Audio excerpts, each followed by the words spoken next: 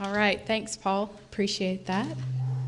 Uh, we're going to talk about what is post-construction stormwater management. We've been out, as Wayne has said, I don't know if he said it today, but I know he said it yesterday. We've been out to all but three of the MS4s in the state, uh, phase one and phase two, since 2007. Uh, we've been working on that endeavor. We should have it finished um, this year. December is our last evaluation for this go round. We're kind of excited about that. I don't know if the rest of you are excited, but at least we've been out to see everybody. I know quite a few people in the audience uh, through the evaluations and uh, through today's conference. So, one of the things that we've encountered as we've gone through our evaluations is it seems like post construction this minimum control measure is the one that gives us the most trouble, that people seem to have the most confusion on what's required, what do you have to do to meet this minimum control measure uh, in order to have a good stormwater program. So that's what we're going to talk about today. We're going to talk about what is it, what does it mean for you as an MS4 stormwater program manager or someone who, a city official, someone who has responsibility for implementing this MCM? What's out there that you can use, what's the technology that's available, both non-structural and structural BMPs, uh, and then what's been done in Oklahoma. As I've been going through uh, putting this presentation together and researching, I, we had encountered some things that have been going on in Oklahoma just through our evaluations. People like to point out where they've got rain gardens installed and things like that. So I knew about some of these things, but then there were other things as I was doing research that I found that I didn't realize you know, those things were out there. So I'm going to try to bring some of those things to your attention as we go through this today. So because I'm with DEQ, here's the regulatory part of this presentation. We've got, the, it's, I think it's de rigueur. You have to have it. At least so you know, if you're not familiar with it, this is right out of OKR 04, right out of the permit. What do you have to do? What does the permit say you have to do? So you have to develop, implement, and enforce a program to address stormwater runoff from new development and redevelopment for projects that disturb a, an acre or greater or those that are part of a common plan of development. All right. So what else do you have to do? You have to put, if you've got your program, what do you have to do? You have to develop and implement strategies as well.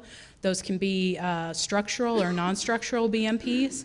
Structural BMPs are those that are you know, something you install, something constructed, like retention ponds, detention ponds. Those are some of the most familiar things I think that everybody's aware of. But then there's grass swales and rain gardens, and we'll talk about those as we go through the presentation. And then there are those non-structural BMPs. And non-structural BMPs seems that's the hardest I think for most people to get a grasp of and to figure out what are they? What else is there? I mean it's easy to think about things you can install but what are some of those non-structural things some things that don't involve construction that you could use to meet this minimum control measure? And those are things that are more planning related education related uh, like directing growth and development in your city to certain areas uh, protecting sensitive areas minimizing impervious area um, and, and just providing education to your citizenry. And we're going to talk about those as well. Okay? You also have to have an ordinance or, an, or some other type of regulatory mechanism that requires post construction uh, BMPs to be installed in your community. Um, and then ensure that there's adequate long term operation and maintenance of BMPs. That's one of the things when you're developing this program or as you're moving forward in your program make sure you've got a process to address who, how, when, and what happens if that BMP measure is not maintained. This is going to be, and I think has led to some difficulties for cities because how do you deal with those privately owned structural controls that are out there and what happens when they're not maintained? How do you then make sure that they are maintained? Uh, is it something that you can address through a nuisance ordinance and then go through and do the maintenance yourself and then pursue abatement on it? Uh, it's something that you'll need to consider if you haven't already for your program. Okay? So that's the regulatory side of things. That's what comes out of the permit. So, what is it really when it comes down to putting it into place? It's control of stormwater runoff after construction is complete. Okay, so you've got to have your ordinance. Uh, one of the things that we've run across in our evaluations is the ones that are out there, a lot of them require that, that post-construction hydrology doesn't exceed pre-construction hydrology or pre-matches post, depending on how you want to word that there. That's something that's out there a lot. But there are other ways to do it, but you have to have that ordinance. You have to make sure that you have a method in place to ensure that that ordinance is, follow, is followed. And that's through your plan review process. When you get those development plans in, do you review that to look at what structures are going to be in place after construction is complete to, modif- to minimize the amount of water that's being discharged off the site? Um, and the other thing is enforcement. How are you going to make sure, you know, what's the mechanism that you have to enforce should these requirements not be followed? And then a selection of methods or ways to meet ordinance requirements, that's always helpful to have for your program, as well as a way to ensure that maintenance occurs over the long term, like we just talked about. How do you make sure? You know, even with your retention and detention ponds, how do you make sure that they're maintained through the life of those ponds, you know, through changes of HOAs, when HOAs dissolve, how do you deal with that? If it's owned by an, a, a, single private owner, what happens when it changes hands? How do you make sure that as it changes hands that the new owner is aware of the maintenance requirements uh, that have been agreed to and might be included in the plans for the development? Okay. It we have found that post-construction stormwater management is related to flood control. They both address stormwater runoff from parking lots, streets, roofs, uh, as well as you know, the destination. Does it is it infiltrated or is it just sent directly off site? So a question you need to ask as you're reviewing your program is, do you have ordinance that cover both post-construction stormwater runoff and flood control? And if you have both, do they conflict? Are there any areas that might need to be changed so that, you know, if you had somebody looking at both, uh, they didn't say, well, you can't make me do this because what you say in your flood control regs doesn't match what you say in, in post construction. Um, and then can one or both be modified to encourage green infrastructure over gray infrastructure? And here's an example of green versus gray that I found the green street here in Portland that's got the little curb bump out with the rain garden there. And then this is just what we see traditionally. Uh, it's a traditional street in Oklahoma during rain, which we haven't had for a while, but you know, sometimes our streets look like this. Okay, so what isn't it? You know, we know kind of now what it is. What isn't it? It's not simply a duplication of your construction stormwater program. Uh, we have had that brought up. Well, we make sure that we have you know, we meet the termination requirements of OKR 10, 70% background cover, uh, final stabilized, no construction activities. Well, that's not really post-construction stormwater control. That's the last part of your construction MCM. Okay, how do you go further into post-construction? Um, they're closely tied, your construction and your post-construction uh, programs are going to be closely tied, uh, because when you get that, that development plan in, you're going to get it before construction. So you're going to be looking at what BMPs are going to be in place during construction, but you also need to then pay attention to that for after construction. How is the runoff going to be handled post construction, after construction is complete?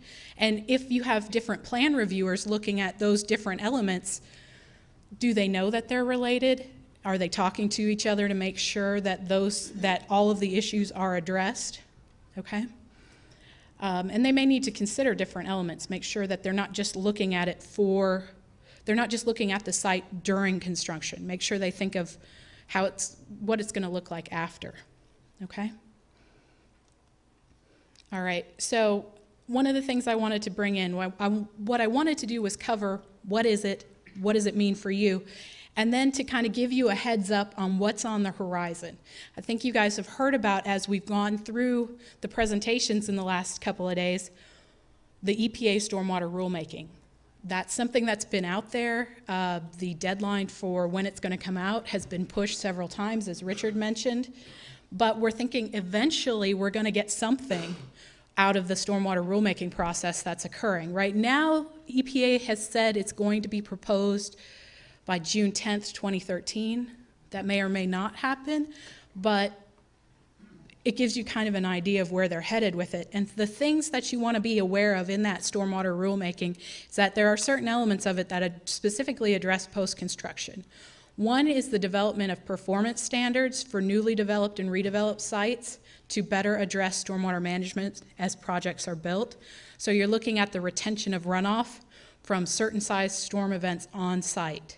So when you get plans in, that's something you're going to have to look at is, you know, if they're asking you to, or if you're going to have to retain the 95th percentile storm on site for all of these sites, do you know what the 95th percentile storm is, as an example? That may not be what it is. I'm just throwing that number out there.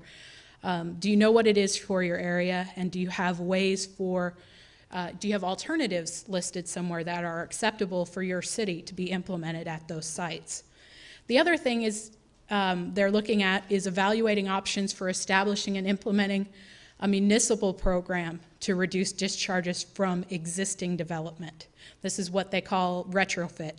It's been out there a lot. I, how many have heard of any of these elements of the stormwater rulemaking? You guys a little bit familiar with it? So a few people are familiar with it. So you, you've heard retrofit, but this is something, it's going to be a municipal program. So that means it's going to fall to you potentially to figure out how you're going to go back into these areas that are developed and put in BMPs to maintain to infiltrate uh, stormwater runoff instead of letting it go right out your system into the nearest creek or stream. Okay, so that's kind of why I wanted to bring all of that up so that you know, you guys are aware of it. What does that mean for you? Well, it's likely that post-construction stormwater management is going to become a larger part of your stormwater program. Something you're going to have to think about. You're going to have to have a process to deal with it. Uh, so you're going to have to develop that plan to comply not only with what's coming up, but with what's already here. Okay?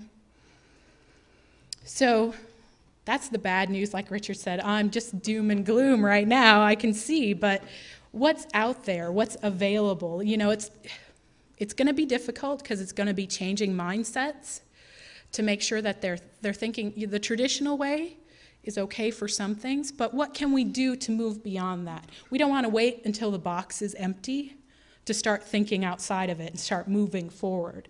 Um, uh, Shelly really set me up well this morning for this topic, so I, I really appreciate that.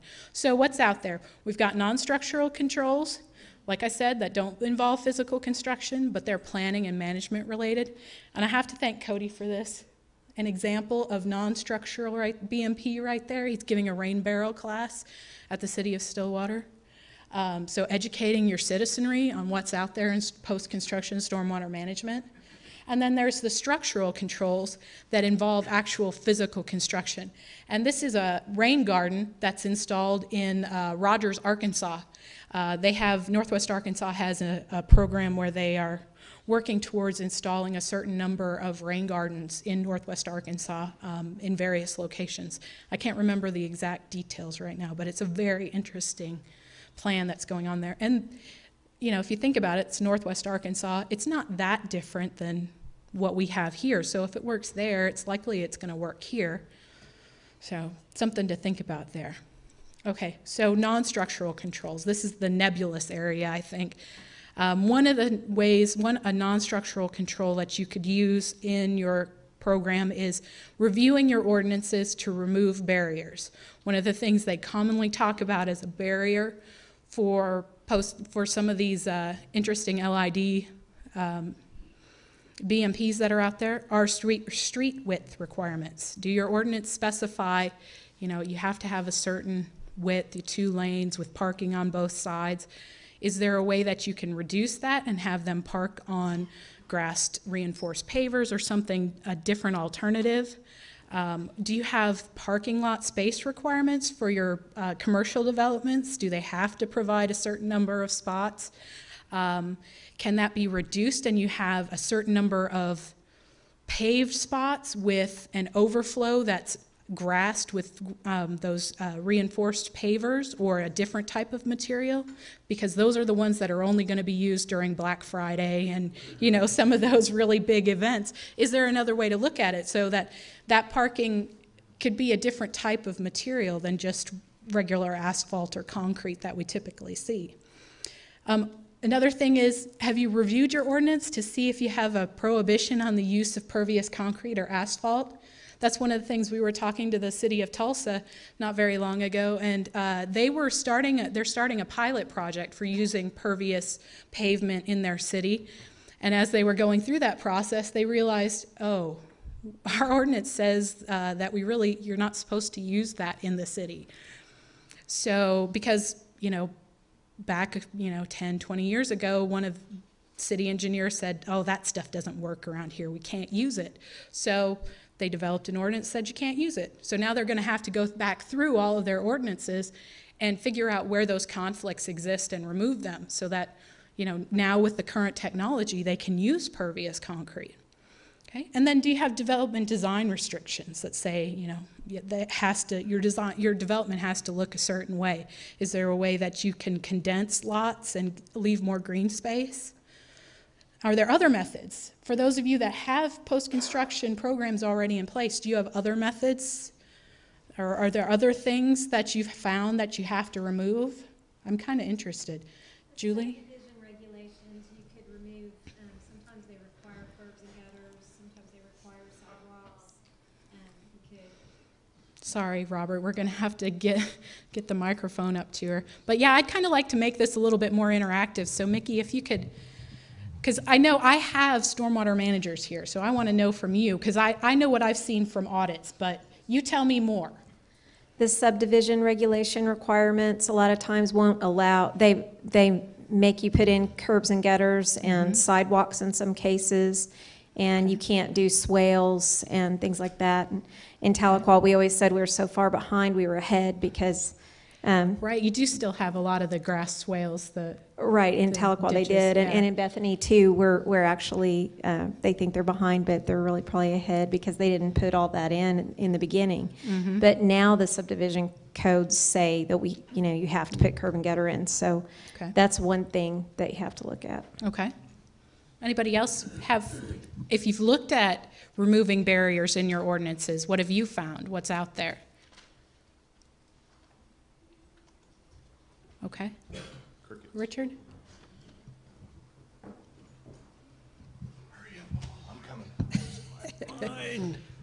Oh, I forgot. No. Now, one of the things that we keep coming across is the uh, conflict between the water quality aspects of, a B- of, if you want to call it a BMP or a practice, and other considerations, particularly public safety. You know, uh, we get a lot of blowback from city planners and fire chiefs and all about, you know, one of the things would be reducing the street size. Well, you Right. try to convince a fire chief or somebody that they need to do that. Sidewalks, public safety, uh, curbs and gutters, uh, engineers can, can really put up a barrier to that. And in meetings I've had uh, with DEQ and other folks uh, in the past couple of years, uh, one of the requirements I think that may be coming out in the new OKR04 is to look at all of these codes and identify the barriers to the, these uh, LID approaches and remove them.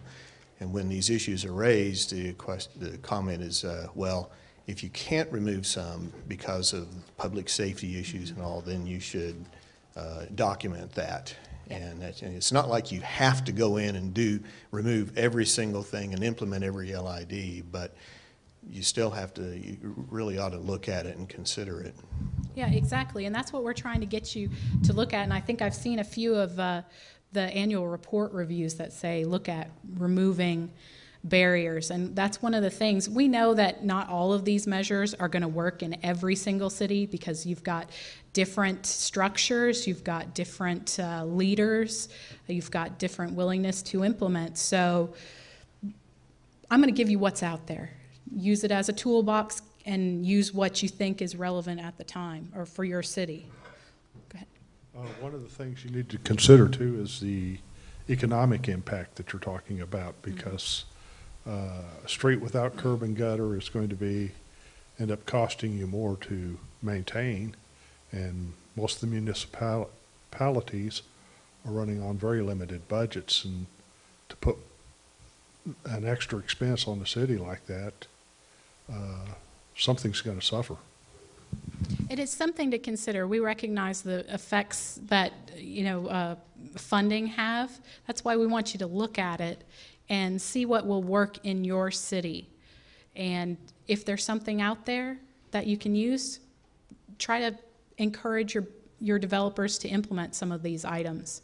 Um, you know, I, I think we were talking about uh, pervious concrete and how it's a little bit more expensive maybe to install initially, but it's kind of balanced by, you know, the types of maintenance that you'll have to do and, and things like that. So it may in the short term cost more, but maybe in the long term, it, it won't cost as much as traditional. Pervious paving, have they come up to uh, resolve the question of the durability due to the freeze-thaw issues? And the second issue with that is if you have a spill on the highway right now, asphalt or concrete typically contain it to a point. Pervious paving will let it get below the pavement and make it much more costly and expensive to remediate the problem. Yeah, and I haven't read any research as well as far as spills go and how you address spills. That's probably going to be a complicating factor on that. But really, right now, my understanding of pervious, the pervious pavement is it's not really designed for those heavily trafficked areas. Uh, it's designed more for parking lots and sidewalks and some of those uh, less heavily traveled areas. The other question I have is on the rain gardens, both of which pervious paving and the rain gardens are very intriguing. I see a lot of benefit from them, but uh, the, the practical side of me has a question whenever you start installing an area in, in our heavy clay soils uh, where you penetrate it with water and you subject the road and the, the curb and gutter and different things to the, uh, the swelling and contraction of the heavy clay soils. Um, I, I, like I said, I like the idea, I'm just not sure it's appropriate next to a road in our particular soils or where you have heavy clay soils. Well, that, that is something that they've been looking at. Uh, they have been implemented in areas that have clay soils. Sometimes what's required is uh, a modified soil base to give you a little bit more retention so that it'll infiltra- infiltrate through that and give you a little bit more retention time. Um, it's something to look at. It's, the research has been done. I'm not going to say I'm an expert on rain gardens and heavy clay soils, but the research is out there. So make sure if you have those concerns that you go out and research it and see what's what is the latest science on that. Um, but as far as and the brought me back to the freeze thaw on pervious uh, pavement, pervious uh, concrete asphalt. Um, one of the things I'm going to bring up as we come through this presentation is the fact that in Northwest Arkansas at their Beaver Water District uh, headquarters, they have their parking lot is completely made out of porous concrete, and it's been installed since 2008. Uh, and they haven't had any freeze thaw issues. And Northwest Arkansas gets a little bit colder than it does here. So, but so it's going to be a little bit more extreme than what we would see. So if it survives there, and they've had good, con- they've had good uh, experience with it, then it's something that could be considered here. The other thing is uh, they've also, uh, in talking to them, since it's been solid since 2008, they haven't done any maintenance on it. They haven't done any street sweeping or vacuuming, and they're still getting good results uh, for infiltration. So I thought that was an encouraging sign that you know for four years you haven't done anything to it and it's still infiltrating. That's that's a good sign. Okay. regarding the uh, impervious concrete that we've been using, many cities for, uh, the last 20 years have really been pushing for uh, industrial areas uh, to uh, completely pave their parking lots, uh, where they had used gravel in their parking areas for their large trucks and stuff for years, uh, and had not had any problems, and were allowing the moisture to, to go into the ground. Uh, After they started requiring impervious materials to be used, asphalt and, and concrete, uh, the runoff problem has, has grown.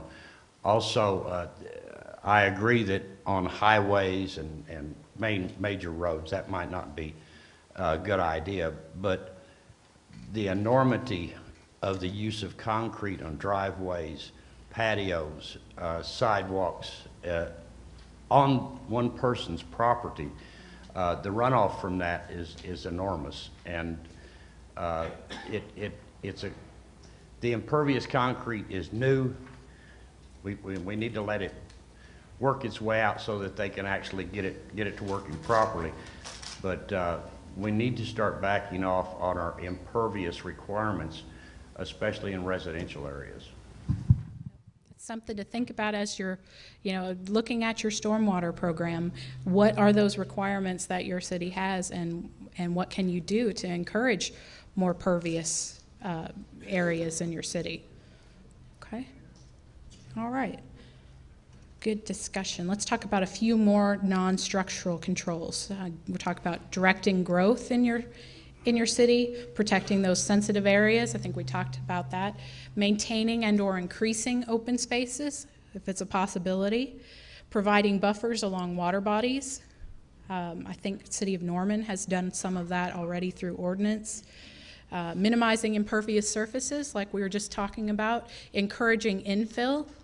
And then educating your builders, developers, and the public on green infrastructure, on what's out there. Okay, so those are some of the non-structural controls. So if, you know, when we get to that part of the evaluation and we ask you about what your non-structural controls are, you know, you know, we've got an idea of what some of them might be. Um, this is an example of uh, that development design like we were talking about. We've got uh, the low impact site plan here as opposed to the consent, uh, conventional site plan here. You can see where they've preserved around this stream here some of the green space and they've you know preserved some of these open areas as well for the development. Now I can't say I pulled this off of the web because I like I thought this was a good example of the development. I can't say I've gone in and counted the number of lots to see if they actually lost some lots in this. They may have, but I've seen in other instances where they've changed the way they do the development and they don't lose lots and they still manage to get some open space. Okay? Um, an example video, I think it's going to be a little too long for the time that we have, uh, but I pulled this off the web. Uh, is an LID video. It's about 14 minutes long that talks about uh, rain gardens and green roofs and things like that. That's from EPA. Might be something that you consider, you know, as using as uh, an educational device.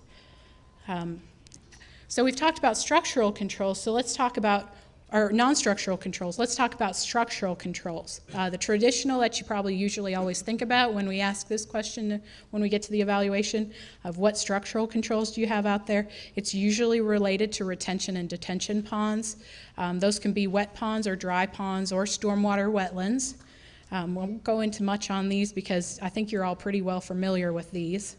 But then they have their maintenance issues, just like any of the other green infrastructure that we're going to talk about will have. Uh, another type of control that we have are rain barrels and cisterns. Uh, they reduce runoff by disconnecting your downspouts from your storm sewer system. It also allows for reuse. You know, if you had this installed in a at your house, you could use it for irrigation uh, for your landscaping. Um, what we have heard as you know if I've, as I've been to other uh, conferences and things like that that one of the things is uh, these use of rain barrels and cisterns is complicated by uh, water rights laws in the western states um, you know because really especially like in New Mexico they say that uh, that water belongs to somebody downstream who has those water rights so they really can't retain it um, I don't think most of that applies to Oklahoma um, but something to consider. And one of the things as I was putting this presentation together, I don't know if you guys are familiar with it, but have you seen in the presentation from Oklahoma Gardening that featured construction of rain barrels? Dr. Vogel was, is in this video um, and talks about how you can construct your own. So I thought it was pretty amazing that I, I wasn't aware that they had this already out there, but I think uh, OSU Extension is really, you know, working towards educating the public on these green infrastructure items. I think this one's a little long too. There are a couple others that I do definitely want to show you, so we'll move on on that. Uh, the other uh, type of structural control you might consider are rain gardens and bioretention. Uh, I think most everybody's probably pretty familiar with rain, rain, gardens, along with rain barrels. That seems to be the uh, type of uh, green infrastructure that's mentioned the most. It provides on site treatment by filtering out pollutants It can be designed for infiltration, or you can discharge via an underdrain. Uh, I have, you know, seen some research on that where they actually allow it to infiltrate to treat the water, but then they um, connect it to the storm sewer system and have some uh, discharge there. That uh, it'll slow it, so it'll at least bring down your peak flow a little bit. Um, as a design consideration. But uh, looking at it, suitable for a smaller drainage area, less than five acres. Um, and you can design it so that you use uh, drought tolerant uh, plant species. Again, thanks to Cody Wittenberg for uh, allowing me to use his photo. This is the Stillwater Community Center's rain garden. This, I think this was one of your first, wasn't it? Uh, rain garden demonstration projects in the city of Stillwater. This picture is uh, after the vegetation has established. And this was 2009 when it was installed, and it's still going well, still working. I got a thumbs up from Cody, so excellent job there. So that's something that you know is installed here. You can keep an eye on it as it progresses, as the years go by, and see what kind of maintenance. Go talk to Cody, find out what kind of maintenance he has to do on it, and and what's involved there. The other thing I was surprised to see is all of the uh, the news features on rain gardens. There's one from the Muskogee Phoenix that I came across. Uh, has a gardening bent for how people could install it, you know, how your citizenry can install it themselves to, as, a, as a feature in their garden. Um, and then a discussion on uh, volunteers in Broken Arrow and the rain garden that they built there. I think uh, Kevin Gustafson with uh, OCC uh, Blue Thumb program is uh, really influential in getting uh, rain gardens and, and different LID practices inst in installed in the Tulsa area. Um, I know he's got several at his house. He's actually installed them at his house as a, as a feature. Um, and then there's uh, Oklahoma City actually offered classes on rain gardens. And then we've got some that are installed in Norman in the Trail Woods section that we're going to talk about a little bit more when we talk about what's going on in Oklahoma. I think we've got enough time. Let's see if I can make this video work.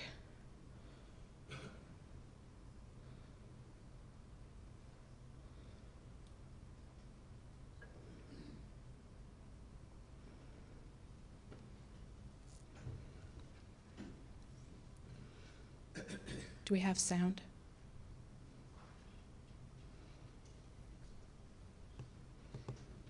Bear with me. We've been having issues with technology yesterday and hopefully not today. We'll see how it goes. Today we're in. Yeah, I was afraid this was going to happen. But again, this is an Oklahoma gardening feature. So, how many people had actually seen Oklahoma gardening, this program on Oklahoma gardening, or knew it was out there? We've got a few people that knew it was out there. Tulsa visiting with Kevin Gustafson of the Oklahoma Conservation Commission. And Kevin's going to be our featured. Uh, I don't know that it's going to work. Okay, well, we're going to put these up on the web at DEQ's website, so you can check all of these out. There's only one that I really want you to see at the end.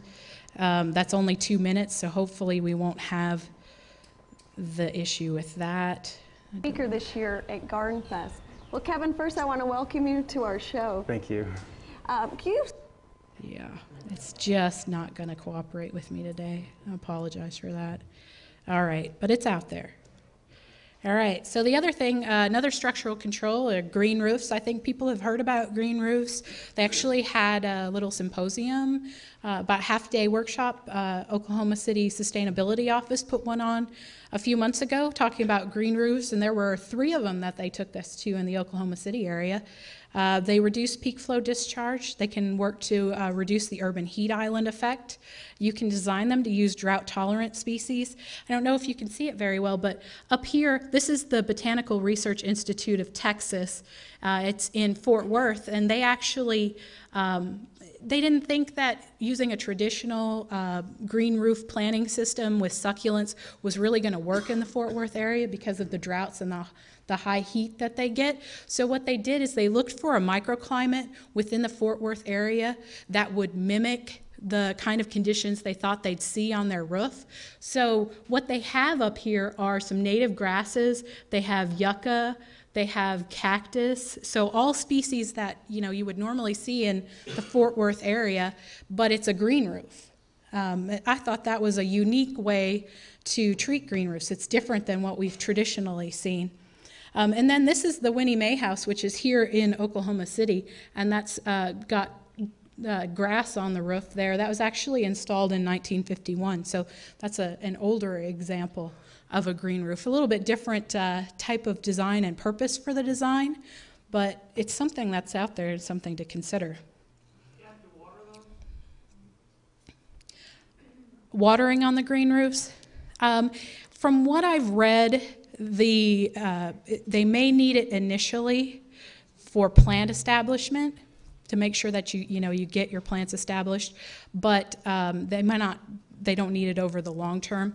Um, I'm trying to remember with Fort Worth, I don't think Fort Worth did any supplemental watering because they wanted to see what species would survive. Uh, and then that would help them for future installations of that type of green roof to decide what plants were going to survive the best without the supplemental watering. Okay, this is another Oklahoma gardening feature on green roofs. The green roof that's pictured here is actually in Oklahoma City. It's on the Cardinal Engineering Building um, it, on Automobile Alley. Uh, and it's an interesting place. They set it up so that there uh, is a little um, area for their uh, for their employees to go and, and eat lunch. It's got a, a picnic table and a little patio that you can sit out on, and then it's surrounded by the green roof structure. So I thought that one was a very interesting one as well. Um, there's green parking. Uh, you can reduce parking lot contribution uh, to stormwater runoff by reducing impervious surfaces and inc- increasing infiltration.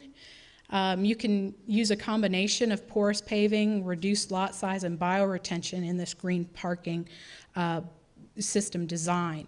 And one of the things I liked about this picture that I found online was right here is the porous asphalt, and then this is the traditional asphalt. And you can see what it looks like, just the different infiltration rate um, on those two different surfaces. I thought that was a, an interesting uh, demonstration of how that worked. Um, narrower streets, like we've talked about, I know that's one of the issues, uh, you know, with public safety and things like that, that it may be difficult for you to implement, um, but it has been done successfully. Uh, it reduces impervious surface and it's applicable to lower traffic volume streets, like we talked about, not your arterials or your main highways and things like that. Um, but they have had successful implementation mostly on the coasts uh, in Portland, um, but they've and New Jersey, but they've also in Boulder uh, instituted the narrower streets. And here you can see where they're where the parking and it, it, didn't show up as well as I had liked, but the parking is out here along the side, and and this is kind of where they're encouraging the parking on that structure there. Uh, per, permeable, per, uh, pervious, and porous materials. That is a really hard thing to say at, after lunch. Uh, it includes pavers, concrete, and asphalt. So I kind of lump them all together. They all do pretty much the same type of thing. They allow water to drain through to a storage and infiltration layer. Um, like we talked about, used for parking lots, sidewalks, and residential streets. And on this this picture here is actually um, at a demonstration pour at one of the Dolese yards here in Oklahoma City. They did that several years ago. I want to say 2008 uh, on that, where they actually showed, you know, what was involved for creating a pervious uh, concrete area, and then how much water would it take. And that that picture is actually that the concrete truck there was full of water and they just let it go. So that's at full flow out of a concrete truck. And it did not go beyond the borders of that pad site there. So that can show you what kind of infiltration you can get uh, in a, a, pervious concrete type uh, structure. And then some uh, different uh, types of pavers to pervious parking that's available. Again, this is at the Beaver Water District in northwest Arkansas. Uh, they had some really unique features that they had installed uh, that I hadn't seen before. Right here is their overflow parking. Uh, you can see these are the parking curbs there.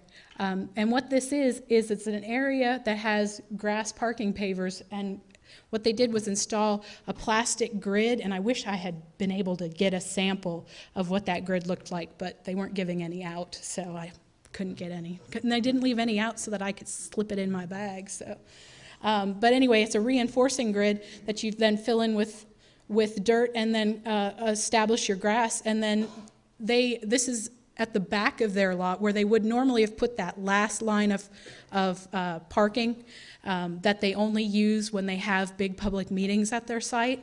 They decided, well, we're not going to use that except once every month or two or so. So let's try this overflow parking. So, you know, it's normally in grass. It won't stand up to really high traffic volumes, but that overflow parking that you just have to use every once in a while, it's an option. And then this is their pervious concrete uh, parking lot right here. Um, and it was raining that day, and it was really cold, and uh, you didn't see any standing water on that parking lot at all. And like I said, they haven't done any maintenance on it since it was installed in 2008.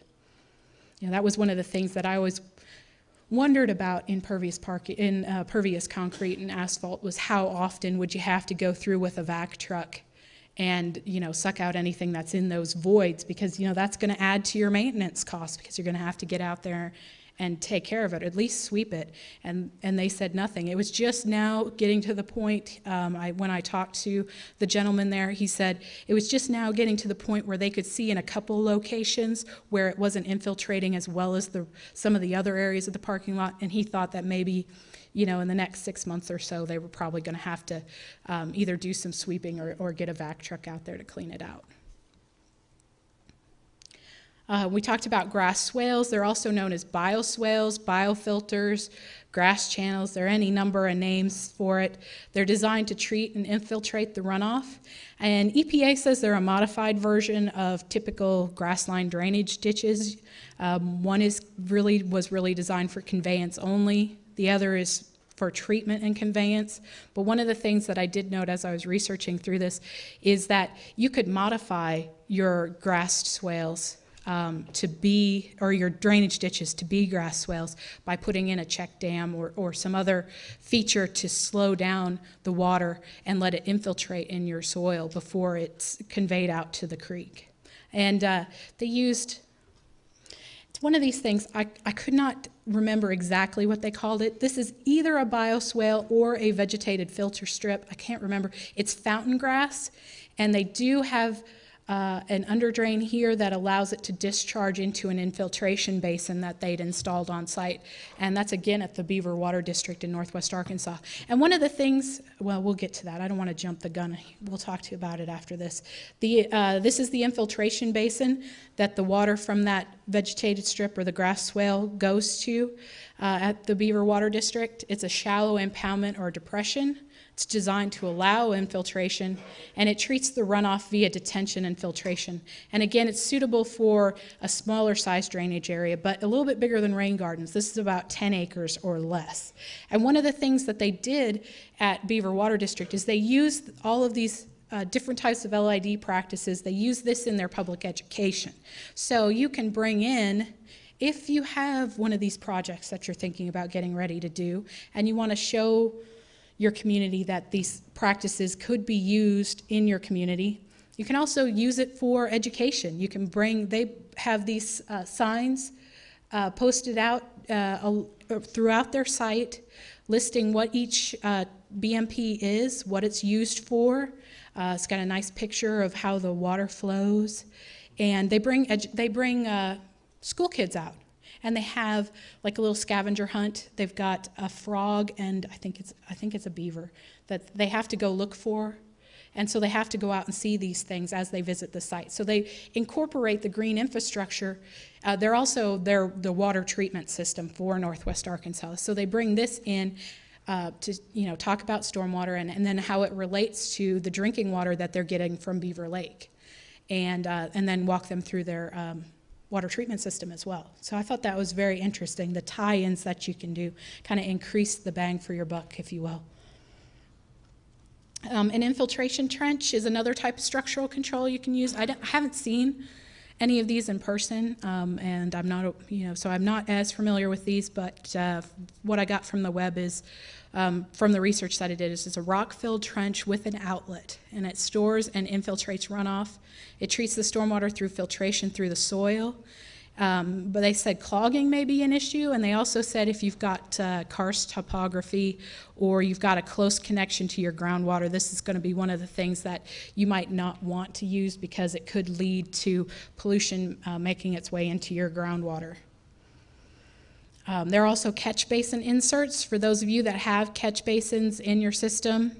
Um, you can place these in your catch basin to remove oil and grease or sediment, trash, other types of pollutants that might make it through your system.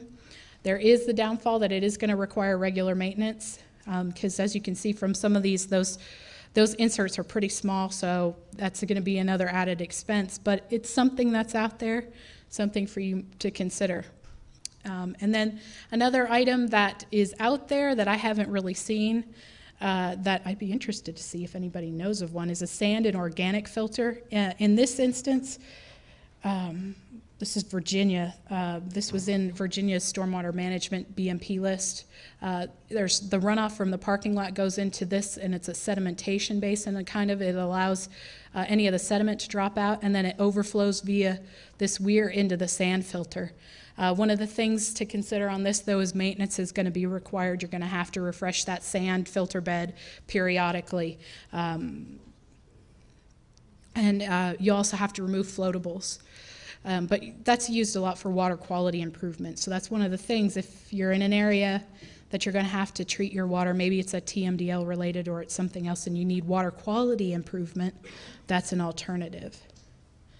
And then there are vegetated filter strips. This is really a practice that was kind of adapted from agriculture. Uh, it's designed to treat sheet flow, if I can get that out, from adjacent surfaces. Uh, it slows the runoff velocity and it filters sediment, but you're going to need to make sure that you maintain street sheet flow across your vegetated filter, um, or you're just going to run into real erosion and things like that um, right through your vegetated strip. Okay, so what's going on in Oklahoma? That was the long and big, that was the big list of available structural controls. What are we actually seeing going on right now in Oklahoma? And I'm going to start with the city of Norman. Uh, like I was mentioning earlier, they have the Trail Woods Edition. Uh, on one side of this street, they have they've divided.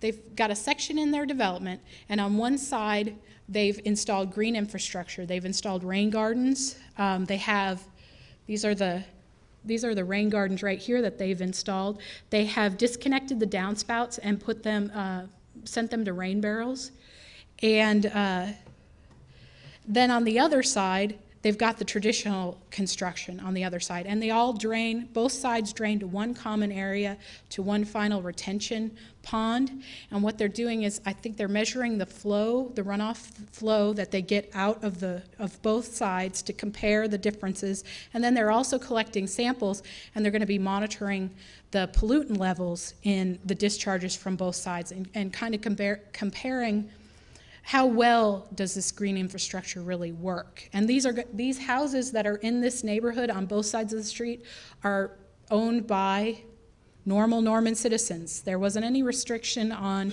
who could come in, whoever bought the house, they just happened to live on a street with green infrastructure. And uh, they're going to be looking at, Ideal Homes is, is the uh, developer on this, and they're going to be looking at you know, what are all the aspects of this type of development and, you know, maintenance and, and treatment efficiency are all things that are going to be looked at in this development. It's very interesting. I'm hoping they'll, uh, you know, publish something on it so that we can all get a look at it and, uh, you know, see how well it works. The city of Stillwater, we've talked about a couple of things. They're doing some interesting things as well. They've got a rain garden at their uh, Stillwater Public Library. That's uh, this one right here. Cody, when was that one installed? 2011, that one was installed. And then they have a rain harvesting sand cistern at Skyline Elementary. That's in this picture right here. And that one was 2009. 2009. Okay, so couple interesting things there. And then they've got their rain garden demonstration project at the Stillwater Community Center. And this is what the, that, uh, that rain garden looked like just after they finished construction. And these are all the volunteers that helped with the installation. And I saw Ilda Hershey in that picture. She used to work for DEQ. Uh, and then they had the rain barrel workshop that they conducted in June 2010. Some of the interesting um, practices that they're doing there. Um, we found uh, that City of Bixby had a rain garden installed at the Bentley Park roundabout, and we discovered that at um, our evaluation. They made sure to point it out and take uh, the uh, the DEQ folks out there and show them what they'd done. And that was actually designed in house by City of Bixby personnel, by Jared Cottle and B. Ammett. Amat? Amat.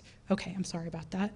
Uh, I should have practiced a little bit more. But designed in house. So you might have talent in house you didn't realize you had. You know, quiz them and see if it's something that's, that's within their uh, ability. Uh, City of Owasso, we also uh, found this on our evaluation. They used Enkamat, which is a commercial product at uh, Rayola Park.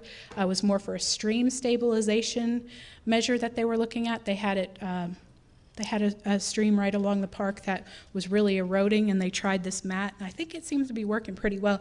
Uh, I haven't followed up on it, but uh, it looked like as they were working through it, it had worked well for them. And then they had a wetland mitigation project at uh, the Garnett Regional Detention Facility, and that's this uh, structure right here. It's a very big retention facility, um, and they were working on um, wetland mitigation there.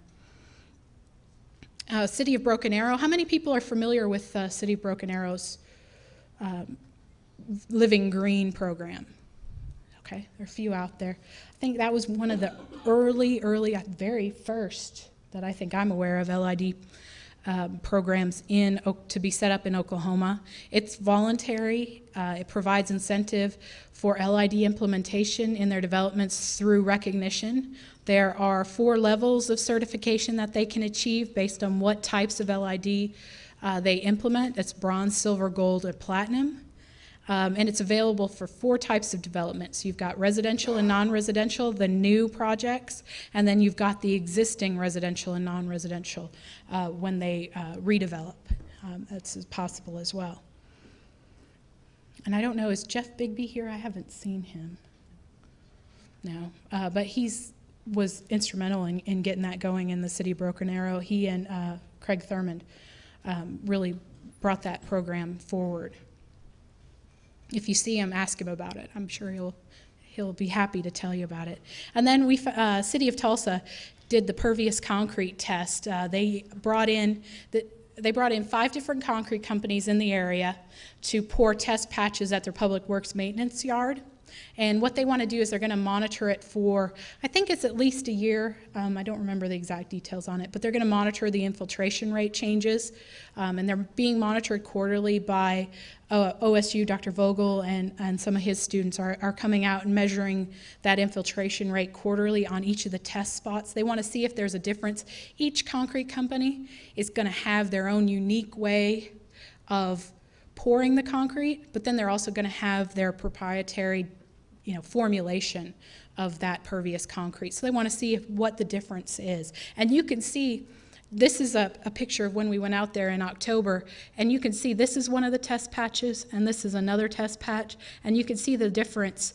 There's a, there's a difference in how smooth the surface was on each of them. There's a difference in color uh, and things like that. So there, there are some differences between concrete companies and what this will, what the final product looks like.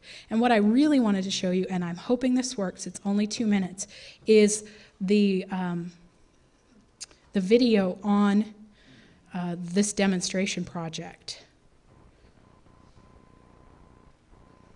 Everybody cross your fingers that it works.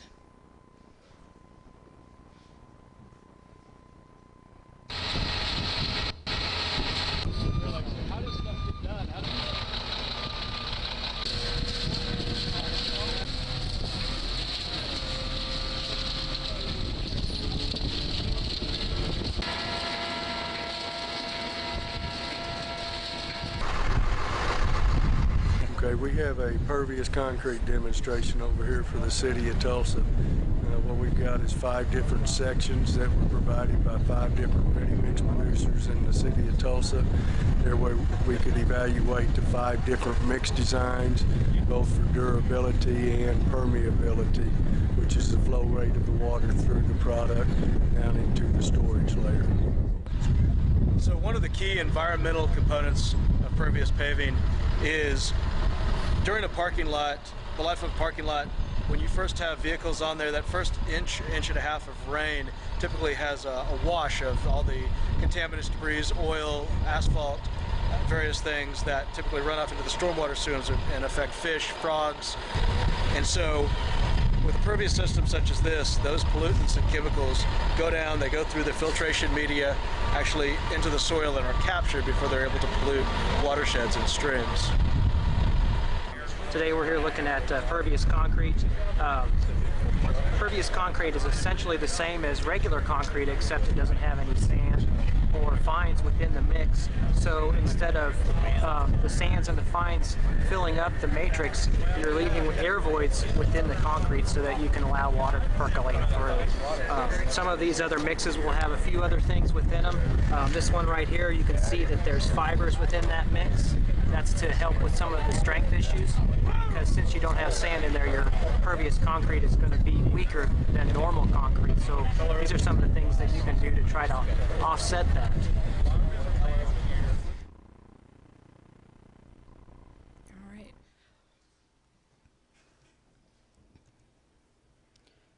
So that's an example of some of the things they wanted to see. Tulsa wanted to see how well the concrete would stand up to regular public works yard traffic um, and the the dirt and the blowing dust and the different materials that you would get in your public yards, your public maintenance yards, um, probably more than what you'd see in your uh, in your residential streets if you had a, an application there or some of your other parking lots. And they wanted to kind of put it in that harsh environment. And then another thing is you know um, the engineers and the other city personnel you know that's where they work and they have to come by it every day and they see it and they're hoping that exposure to it and their experience with it as time progresses you know will help them in you know, help encourage them to think about it in uses in other uses besides their test patches. So another way to bring in an education component, and in this case, it's an education component for your municipal employees. Uh, so I thought, again, I thought that was very interesting. So if we've got a little bit of time, do we have any time? Okay, we probably don't. All right. But what I wanted to do, and I think we've kind of covered this, is it, what's going on in your MS4. Think about it. You know, what's out there? What have you put in place? But what maybe have your citizens put in place you're not aware of? Something to think about as you um, progress with implementing your program. Okay. And I think we'll just go with any questions, comments, or discussion. So we try to stay on schedule as much as possible. Thank you, Carrie. Any questions in the audience? Surely there's got to be one. I think they need coffee. I think so. All right. Um, thank you very much, All Carrie. right, thank you. Wonderful.